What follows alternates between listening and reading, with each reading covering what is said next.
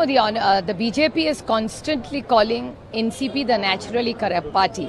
And even during the debate, the Honorable Prime Minister really was very, very kind that day. It was a discussion about the old building. And he spoke like a statesman, and we all complimented him. And the lead speaker from uh, the Congress, he turned around, from the BJP, turned around and made nasty corruption attacks on the opposition and even on all of us. So we had to rebut. We had no option. We did not want to bring up corruption that day, but Bharatiya Janata Party brought up the issue of corruption. And since they made nasty allegations against us, we had no option but to ask him that if NCP was a naturally corrupt party and a few members of the NCP today are a part of your government, we very humbly, with full humility, ask the Honorable Prime Minister that what is the truth?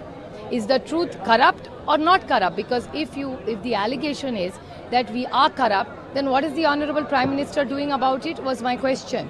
And if the allegations were political and they were false, then the Honorable Prime Minister and the BJP has to give a clarification that all the allegations that we made against the NCP were false. My three sisters were raided. Anil Deshmukh ji was raided. Nawab Malik was raided and sent to jail. So were these all politically motivated? So then all that we are saying that the BJP uses all these agencies against political parties which is against them. I, my stand is vindicated. So it clearly they are using agencies to harass innocent people is what we want to know. So is NCP corrupt or not corrupt? So is it a naturally corrupt party? If it is, do take action and if it is not, they must apologize to the NCP for hurting us and making false allegations against us, which were completely baseless. Ma'am, my second question is about uh. Not at all. The warning is not good enough. He is a frequent offender. And uh, I have written, and the Trinamool Congress has written to the Honorable Speaker, we are moving a privilege motion against him. This is no way to behave. Even two days ago, he had heckled my colleague and my friend, who's a senior member of parliament, Shri Kanimozhi ji, and she had not even started her speech.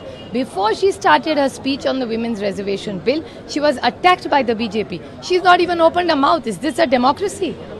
So even somebody is trying to debate, which is her right according to the constitution, if you are going to attack a woman who's speaking on the debate and she's go- going along with the government, she was speaking with the government, and the same member of the uh, Bharatiya Janata Party has attacked this woman. I condemn any such unruly behavior, and the privilege motion must be moved. And I have done it, and I would request other people because the Honorable Prime Minister himself requested with full humility, and I appreciate the Honorable Prime Minister's statement. He said that let's all start a new beginning. If there was any bitterness in the old building, let's make it into positivity and move forward in the new building. We appreciate that, and that's how we started. That's the note after the Honorable Prime Minister was so kind, we started on the same note. And Mr. Bidhuri has destroyed the entire session by using some language and insulting fellow um, parliamentarians. I think MEA really needs to introspect because for the last one week,